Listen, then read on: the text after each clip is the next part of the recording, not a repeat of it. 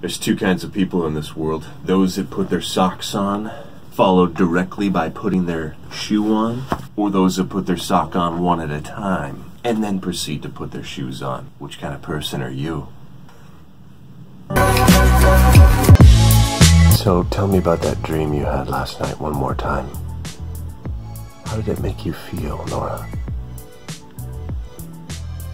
Okay. Tell me about the dream you're having right now. How how how do you how do you feel? Top of the morning to you. I'm headed out to a creative mornings meetup at the San Diego County Library. Come along. Ah, but what is Creative Mornings, you ask? Creative Mornings is a once a month breakfast lecture series for the creative community.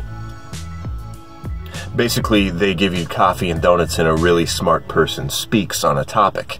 Today, it's about compassion. It's a local entrepreneur. Her name is Sara Schairer. I'll find that out for sure after she's done speaking. But uh, it should be really good. It usually gets you inspired for your Friday, and you meet some cool people, you can network, and there's free donuts and coffee.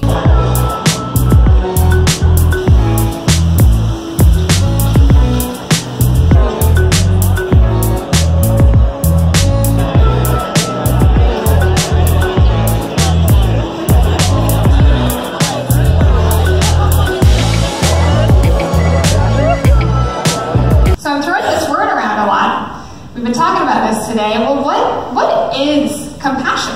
At its Latin roots, compassion means to suffer with. So when we're compassionate, we're able to stay present with suffering. We're not running away from it. We're not pretending that it's not there. And we're also not getting overwhelmed by it. Stanford defines compassion as a four step process. And the first step is awareness.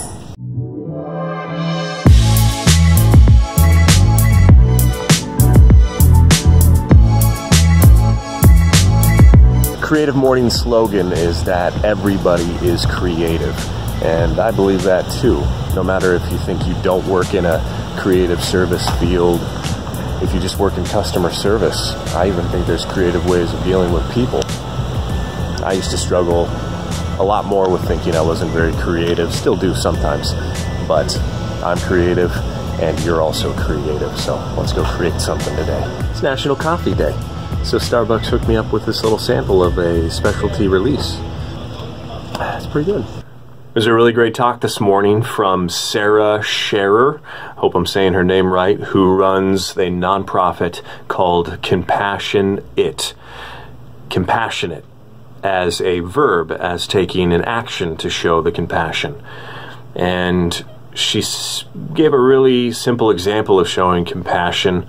Something as easy as going on Twitter, typing in hashtag bad day, and seeing who's had a bad day, and typing a nice note to them. And how this band works that they gave out is you start it in the black at the beginning of the day, and when you do something compassionate, something nice, for someone else, you you flip it over to the white side. So it's an action band. So check out her nonprofit, Compassion It. I'll link to it down below.